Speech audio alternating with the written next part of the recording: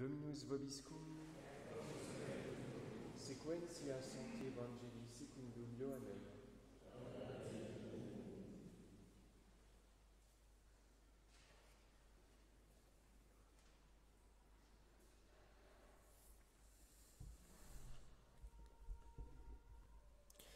En ce temps-là, Jésus dit à ses disciples, En vérité, en vérité, je vous le dis, ce que vous demanderez au Père, il vous le donnera en mon nom.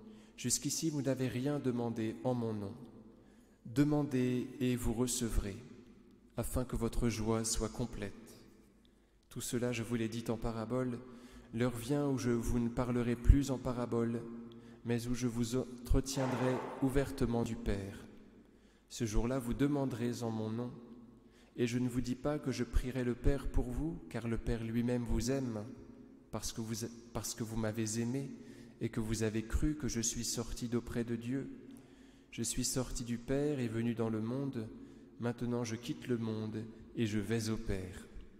Ses disciples dirent, Voilà qu'à présent tu parles ouvertement et ne dis plus de paraboles. Nous le savons à présent, tu sais tout. Tu n'as pas besoin qu'on t'interroge. En cela nous croyons que tu es sorti de Dieu.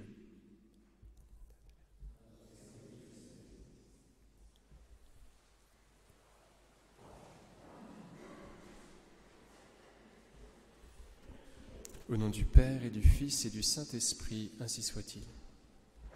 Chers amis, le Seigneur nous fait tellement confiance qu'il nous propose de demander des choses à son Père en son nom, c'est-à-dire de le remplacer, de parler à sa place, de faire croire au Père que ce qu'on lui demande, ça vient du Fils, ça vient de son Fils. Vous voyez, demandez les choses en mon nom. Allez-y, vous avez carte blanche, un petit peu comme euh, Ésaü, vous savez, se fit voler par Jacob son droit d'aînesse. Jacob s'était déguisé en Ésaü, en son frère aîné, et il a tiré sur lui la bénédiction d'Isaac. Voilà. Et c'est comme ça que la bénédiction est passée à un autre par du prix. Eh bien Jésus, dans sa grande miséricorde, nous propose de demander des choses à son Père en son nom. Parlez en mon nom. Vous imaginez un petit peu le risque qu'il prend, parce qu'on pourrait très bien demander euh, à notre Père des cieux des choses que le Fils ne veut pas. À vrai dire, cette, euh, cette intimité, vous voyez, cette, euh,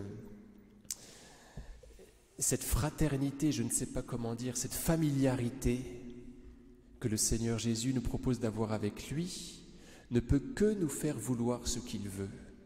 Dès lors qu'on est aussi intime avec le Christ qu'il nous propose de lui demander ce qu'on veut, eh bien, on ne pourra que vouloir ce que Jésus veut vraiment. Donc Jésus ne prend pas tant de risques que cela. Voilà. Donc remercions le Seigneur Jésus de nous faire aussi confiance et agissons tel qu'il nous demande d'agir, d'avoir avec le Père beaucoup d'audace, de parler en le nom de son Fils qu'il aime, au nom du Père et du Fils et du Saint-Esprit, ainsi soit-il.